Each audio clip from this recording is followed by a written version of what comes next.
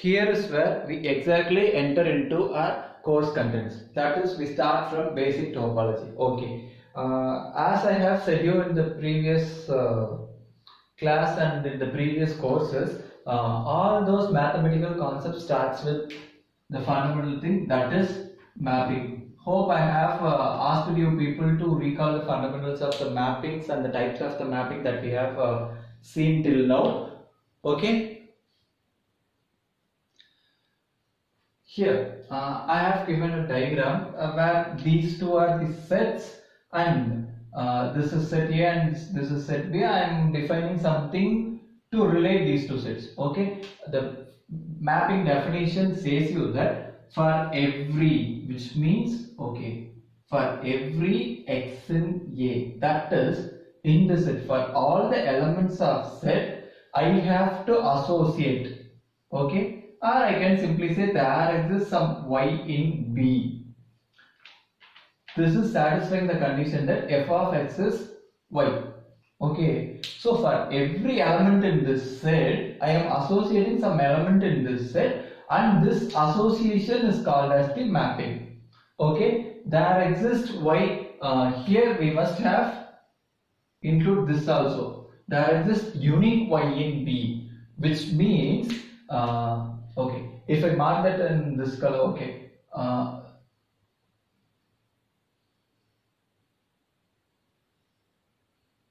okay. Here you can you can see that a1 is associated with b1 and a2 is associated with b2 a3 is associated with b3 and a4 is associated with b3 okay. Here there are some elements left. We don't need to bother about it. Okay.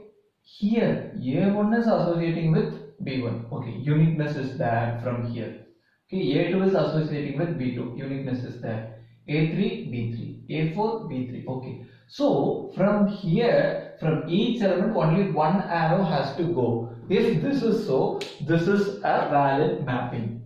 Okay. Suppose, okay. Suppose I have A4 is mapped with B3 as well as A4 is going to B4 as well. So in this case, this is not a mapping. Okay hope you can uh, recall the definition of a mapping. Next okay here these two sets. Here f is defined from a to b. This a is called as domain and b is called as codomain.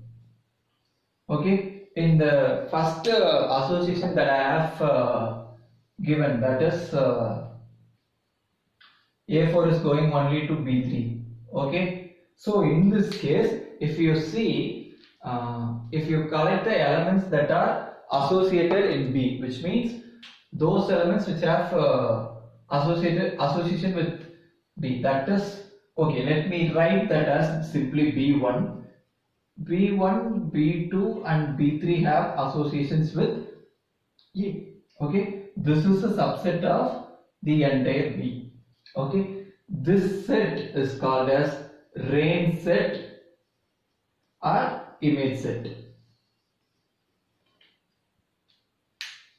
Okay, sometimes uh, we may be asked to find the image set of a particular subset of A.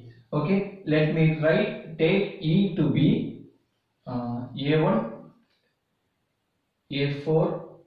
Okay, only these two. This is my E. Now we may be asked to find out what is f of E. So we just need to collect the images of these two elements under this association. Okay. So A1 is going to B1 and A4 is going to B3. So this is the image of E. Okay. Image of the set E. Here uh, there are two diagrams given, uh, two associations. Uh, you can see that these are valid mappings. Here, all the elements are mapped with only one element. That, has to, that is the definition of a mapping. Okay. If you see from here, all the element is associated with only one element or is left alone. Okay. Here, no element is left in the codomain. Okay. So, such kind of mappings is known as one-one mapping and this kind of mapping is known as onto mapping. Okay, so by seeing the diagram, we can see by this way that this is one one mapping and that is onto mapping. If we have to give the proper definition or mathematical definition, what do we do? Here, for all the elements in the domain, usually we take uh, this is the domain and this is the codomain. Okay, for all the elements of a codomain, there exists at least one x in A such that f of x is y. Okay, we are saying that at least one x, which means that no element is left alone here. Okay, or in other words, if I take the image set, okay, in the previous example, we have seen that the image set is a subset of that is uh, that B1 was a subset of B1 and it was a proper subset. Okay, in on to if you collect this one, what will you get? 1 maps to A, 2 also maps to A, 3 maps to B, and 4 maps to C. This is your entire B, right? So if your image set is same as that of your codomain, then your mapping is onto. Okay, here come to this. Okay, here two different element maps to two different elements. So, suppose suppose I am saying if my 5 maps to D and 4 also maps to D this is not there as of now okay? If this is the case what happens here? Okay you just think for a moment. If this is the case let me write uh, we know that this d is d okay? This can, d can be written as f of 4 and f of 5 whether it tells you 4 and 5 are same no right here we do not have this guarantee that 4 and 5 are same so in this case, this mapping cannot be 1 1. Okay. Uh,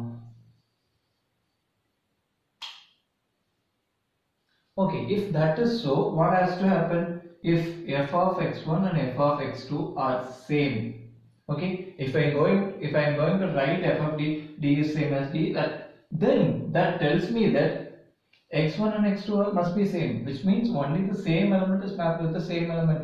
No different elements cannot come to a same element. This is the definition of one one. This can be put in other way that uh, two different elements if i take two different elements in a domain this maps to two different elements of a codomain. Okay so this is kind of a this is uh, when when defining R2 we have some definition like this right? This is similar to this. Okay such kind so here in terms of image we are talking something. Okay now in terms of inverse image we are going to talk something for which uh, we will have to define what inverse images are. Okay uh, for which uh, let me use this space uh, okay let us have one two three four and only this A, B, C. This goes to C and uh, okay, C is left alone.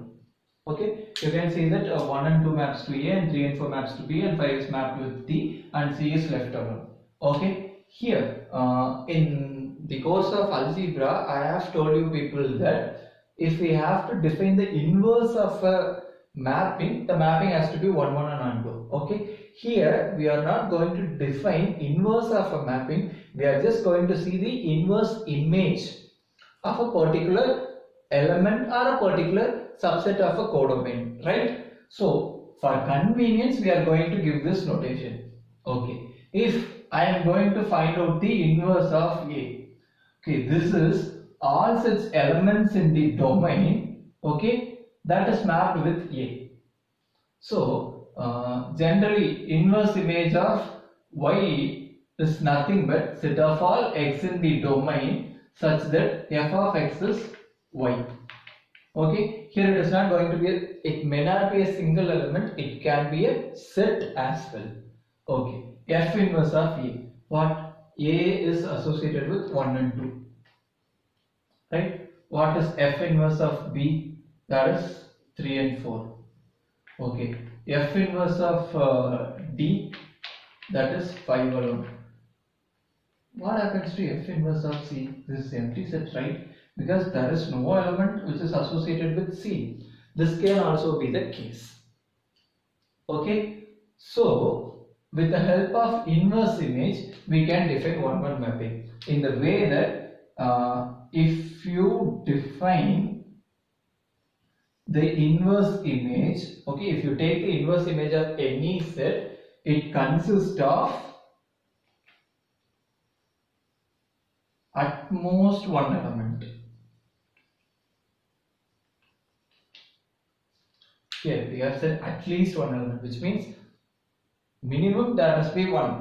Okay, here we are saying at most one element, which means maximum it can be one, else it is empty. Okay, supposing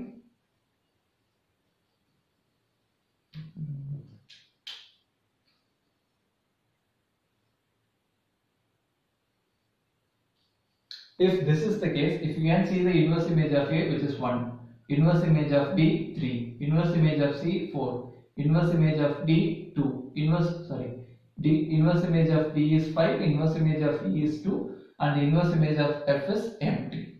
So for all the elements in the codomain, the inverse image set is either consisting only one element or it is an empty set. If this is the case, we call this mapping to be 1 1